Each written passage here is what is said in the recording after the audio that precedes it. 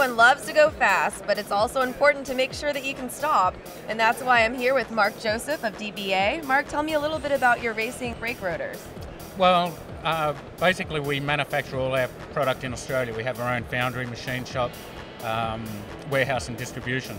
So we found a need for uh, everyone to wants to go faster to stop. So we developed a rotor to do exactly that.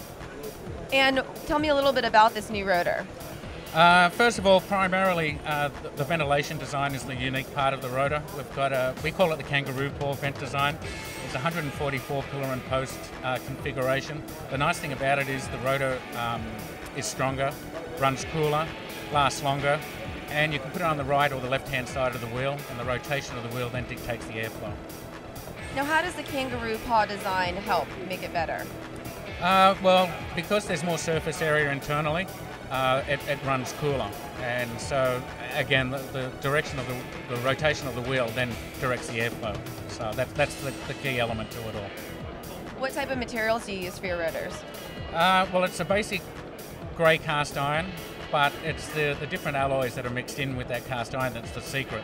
Because our foundry is very secretive, they won't tell us exactly what's inside of it, but it's a bit like Kentucky Fried Chicken or KFC. It's the different herbs and spices that make the difference.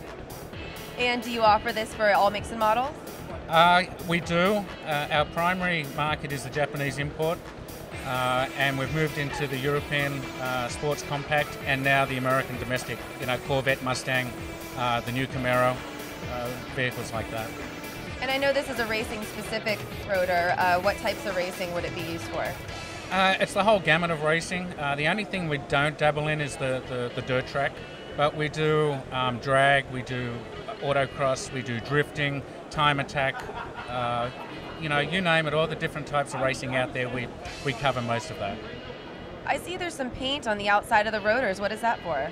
Yeah, that's another unique feature that we've put on our racing and performance rotors. It's a heat changing temperature paint. Uh, it's to help uh, the enthusiast and the racer monitor what their braking system's doing. So as the rotor reaches certain temperature thresholds, the paint starts to change colour. And if they've got uh, the paint starting to change at the red level, they've got a serious braking issue. So when it just starts changing from red, those discs are nearly melting. And where would someone go to purchase these products? Well, the simplest way is to go on our website. On the homepage, we have a where to buy section. So if people click on that link, they can get um, a whole list of different distributors that are national, including Canada and South America. Well, it sounds like you have something for everyone. Be sure to check out dbausa.com for more information.